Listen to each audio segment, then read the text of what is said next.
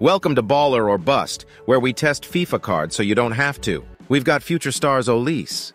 We acquired him on the market for 140,000 coins. If you need coins, go to U7BUY, use code ZADE for 6% off. Now I think his price will keep dropping for a bit, but he's actually a pretty fun card to use. The downsides of the card is the high and average plus body type, along with the lower reactions and composure. Now I'd use a Hunter Chem style. It's needed to max out pace as he doesn't have pace chem styles, and his shooting needs a boost. He does have Trivela Plus, which I know has been nerfed, but can still be useful for those cross-body shots in the box, and of course at the right angle from distance. He's also got Finesse Shot and a 4-star Weak Foot. You just really need to green time your strikes due to his lower composure.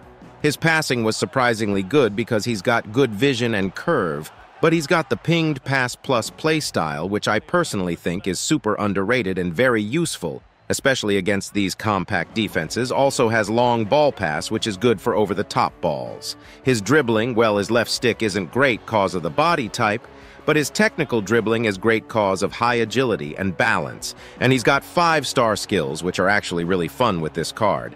Physicality is decent cause of his size. Also has flair, dead ball, and acrobatics, so a ton of playstyles. As a cheaper end Premier League winger, I think he's a super fun card, but does lack the reactions and composure for higher tier gameplay.